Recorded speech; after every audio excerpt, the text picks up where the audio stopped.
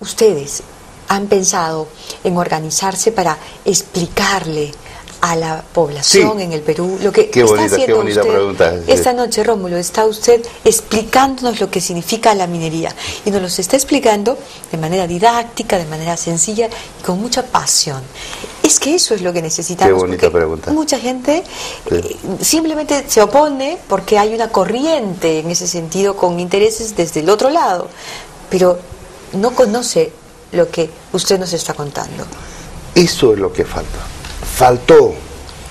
Por eso cuando analizamos estos casos, por ejemplo, el caso de Conga o otros proyectos, el mismo Tamborande que fue detenido por un referendo, uno tiene que ponerse a pensar qué hemos hecho mal, qué ha estado mal, en qué ha fallado el Estado, en qué ha fallado la empresa, en qué ha fallado también la sociedad civil.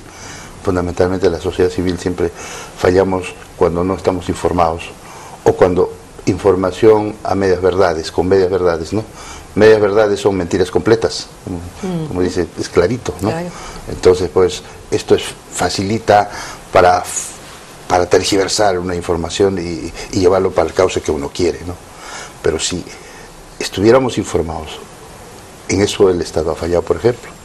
Estado sí tuvo que hacer una en la campaña de educación, en las clases, en los libros, en los libros, decir, mira, esto es la minería, este es lo que representa de qué vivimos, la agricultura también vive de la minería, porque si exportamos algo es porque podemos comprar. Si no exportamos, ¿con qué vamos a comprar? Hoy compramos alimentos casi por 3 mil millones de dólares. Pero solo el Estado, Rómulo, porque el, Estado, la empresa también. También, porque el Estado vive infiltrado por los antis. la empresa también.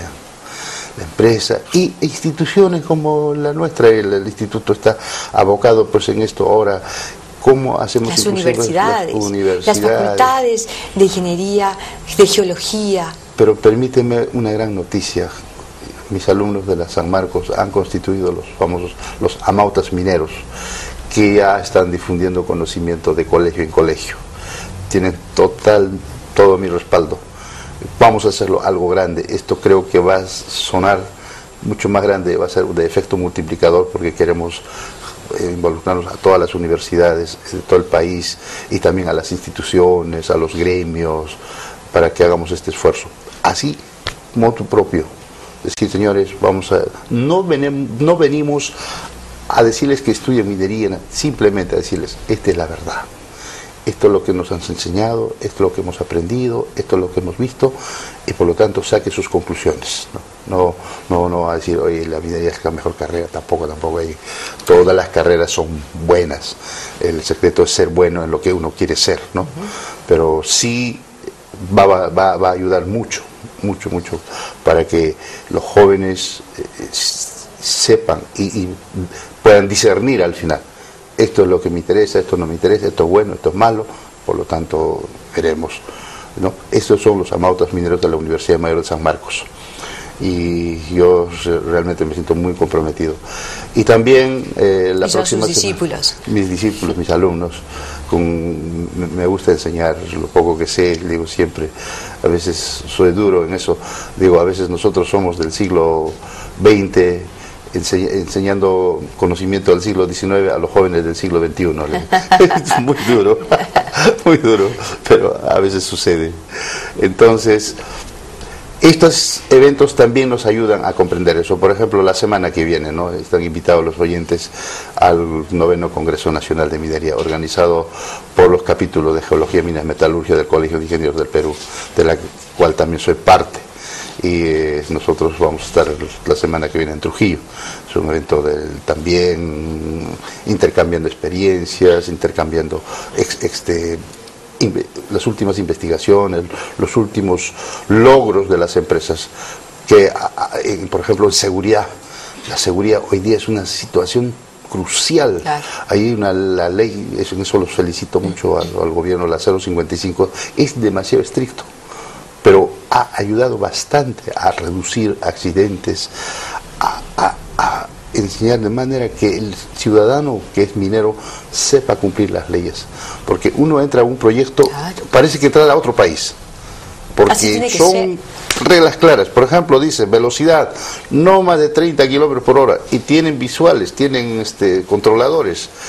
Pasó un kilómetro por hora, inmediatamente avisa. Detectado, señor, usted ha pasado a 31 o 32 kilómetros y dice 30.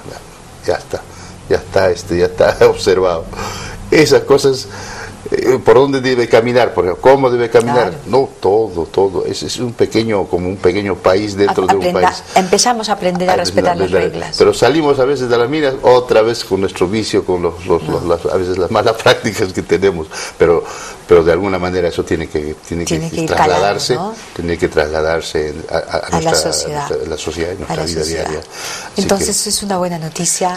Hay no solamente ya la decisión, la oficialización del próximo Perumín, también el entusiasmo gracias al ministro Merino, gracias al ministro Paredes, gracias a, todos y fundamentalmente quiero si es que nos vengan a Arequipa, claro que nos vengan a Arequipa. Quique, al gerente de Cerro Juli, a Juan Carlos eh, Calderón, todas las autoridades.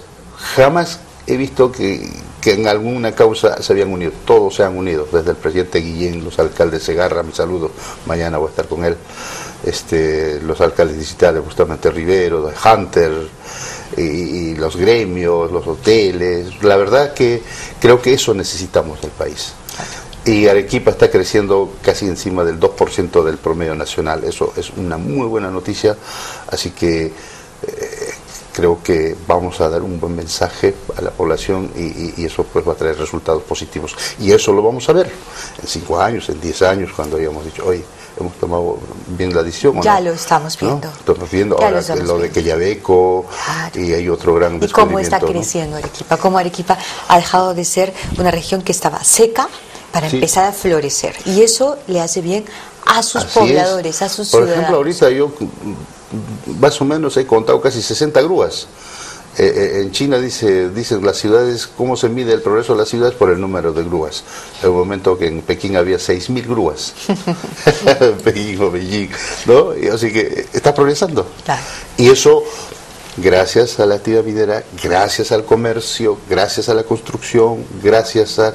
A los sectores, todos que están interconectados. Interconectados. Interconectados, porque el hecho de que Perumín se haga tantos años en Arequipa ha activado y reactivado la hotelería, ¿no es cierto? Los restaurantes, le ha dado trabajo a tantísima gente. Sí, y, eso es fundamental. Las, cifras son muy positivas y esperamos este año hacer un evento sin precedentes. Estamos esperando casi 2.100 stands, va a haber, unos 15.000 convencionistas, estamos buscando casi 13.000 camas en Arequipa, va a haber unos 70.000 visitantes a la feria y, cuando hayamos logrado el éxito también diremos, Arequipa querido, gracias, algo también debes haber aprendido de esto, así que totalmente bueno, con diálogo, la amistad, la serenidad para tomar decisiones, yo creo que estamos por buen camino. Por supuesto. Y esperamos los amigos de Cajamarca, siempre les he dicho, amigo cajamarquino, aprovecha la oportunidad porque mañana puede ser tarde, ¿no? Tiene derecho a reclamar, tiene derecho a pedir más, tiene derecho a cualquier cosa, pero menos, digamos, a, paralizar, ¿no? a paralizar algo que, sin razón, yo, yo, yo, soy ingeniero y digo, sin razón, muéstrame un número que es totalmente... Y le diría, y si me convences de repente sí te puedo seguir, pero no ha convencido, o sea, no simplemente el diálogo que quiere decir sobre el no va, ¿no? ¿Cómo, ¿Dónde estamos? Estamos en pleno siglo XXI y no nos podemos poner de acuerdo todavía los peruanos. No puede ser. No puede ser, no, no, Hay una enorme falta de voluntad y de amor al pueblo, ¿no? Finalmente es. el pueblo más pobre. Es el que más sufre. Es el que se perjudica. Porque el que tiene quizás pasa, aguanta o dice, no, yo puedo, pero el, más pobre sí es el más golpeado, porque porque no, no tiene oportunidad para nada. ¿no? No, no, su comercio, sus tienditas o su comidita que vende, no tiene ingreso, ¿no? Entonces, por lo tanto, ¿a qué estamos jugando?